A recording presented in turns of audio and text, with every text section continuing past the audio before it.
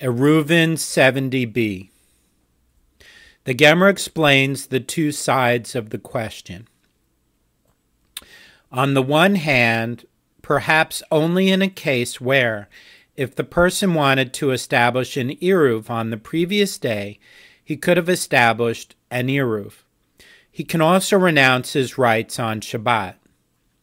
But this error, since, if he wanted to establish an Eruv the previous day, he could not have established an Eruv, as he was not then a resident of the courtyard.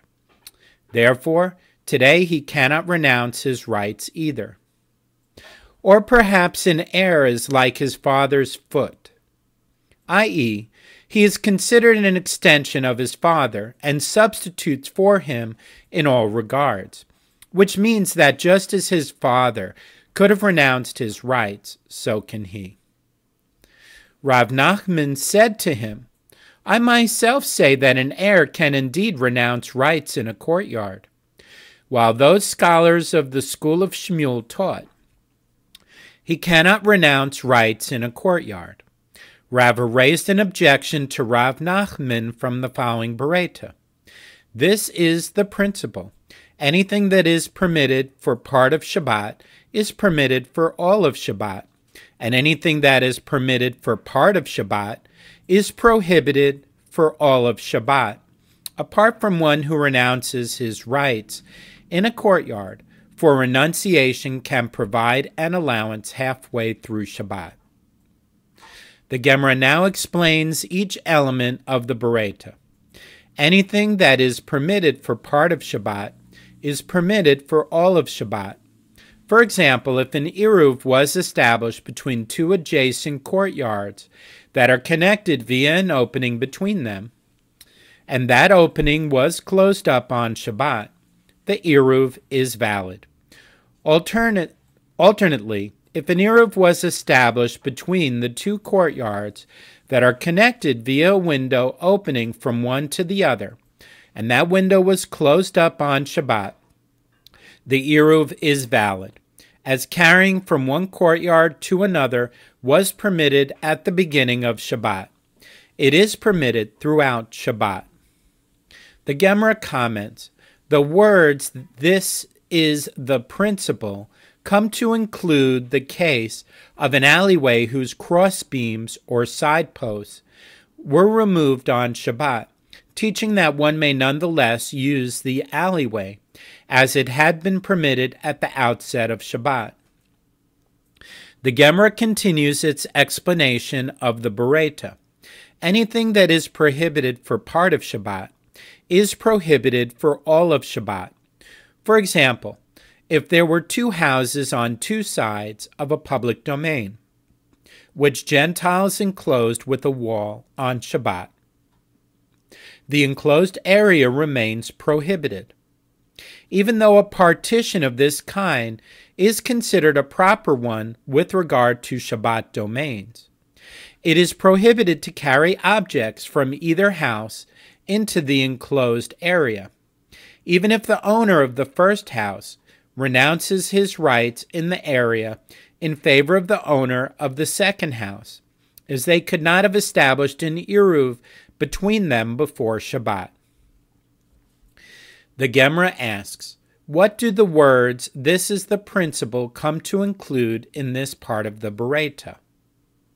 The Gemara answers, It comes to include the case of a Gentile resident of the courtyard who died on Shabbat without having rented out his domain to a Jew for the purpose of an Eruv. In this case, the Jewish neighbors are prohibited from carrying in the courtyard because it was prohibited to establish an Eruv the previous day. Carrying in the courtyard continues to be prohibited on Shabbat, even though the Gentile is now deceased. And the Baraita teaches, apart from one who renounces his rights in a courtyard, which teaches that a person may renounce his rights in a courtyard even on Shabbat despite the fact that the courtyard was prohibited prior to his renunciation. The Gemara infers he himself, i.e., the original owner, Yes, he may renounce his rights even on Shabbat. But with regard to his heir, no, he may not renounce his rights on Shabbat, which contradicts Rav Nachman's opinion. Rav Nachman replied, Say that the Baraita must be understood as follows. Apart from anyone who falls into the halakhic category of one who renounces his rights in a domain. In other words, the Baraita is not referring to a particular person who renounces his rights, but rather to the category of renunciation in general, which includes an heir.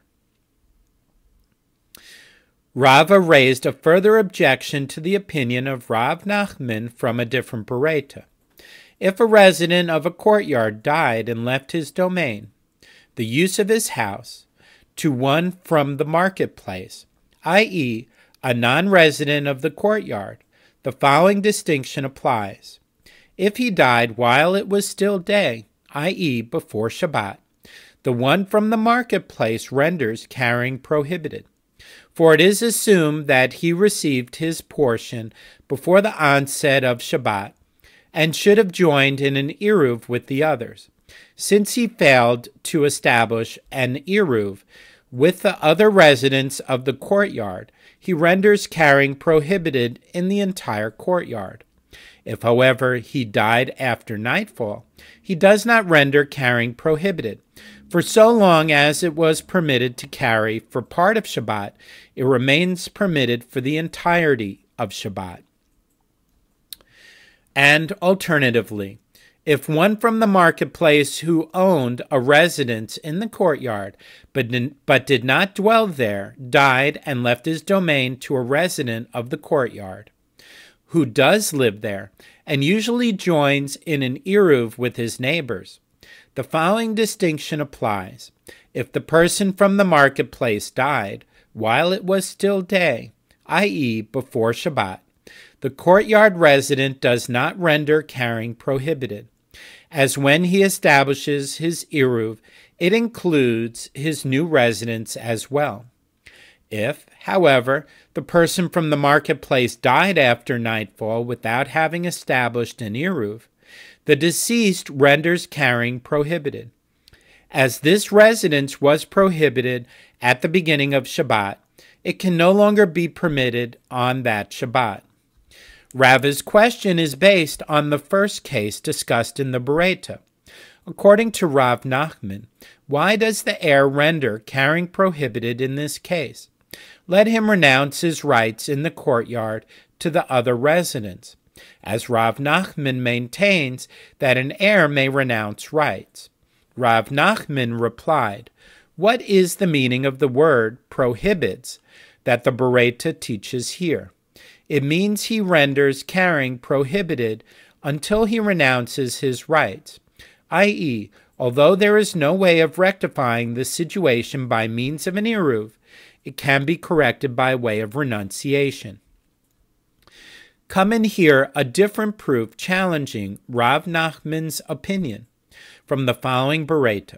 If a Jew and a convert were living in a single residency comprised of several rooms, and the convert died childless while it was still day, such a convert has no heirs, and therefore the first to take possession of his property acquires it.